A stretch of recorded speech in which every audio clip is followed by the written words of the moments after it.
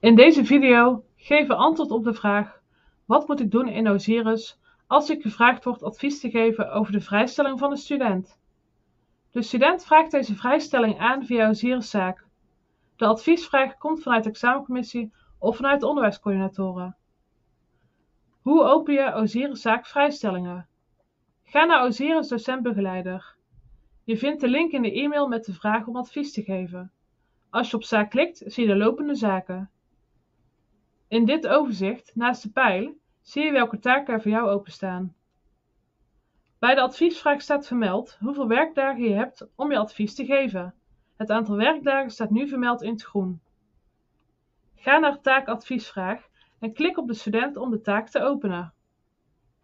Je kunt in de activiteitenlog zien welke medewerker je gevraagd heeft om advies. Om nu terug te gaan naar de zaak van de student, klik op taak Klik op het verzoek om het ingevulde formulier van de student te openen. Vervolgens klik je op Volgende om het formulier te openen. Klik op Ontkoppel om het formulier in een apart tabblad van je browser te openen. Klik op Terug om naar het hoofdscherm te gaan van de zaak van de student. Hier kun je klikken om de bijlagen van het document te openen. Hoe kun je het advies geven?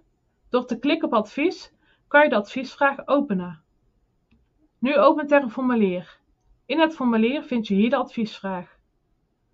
Vul hier je advies in. Hieronder zie je nu de ingevulde gegevens van de student.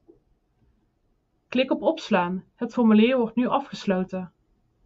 Om je advies te versturen, klik je op advies compleet.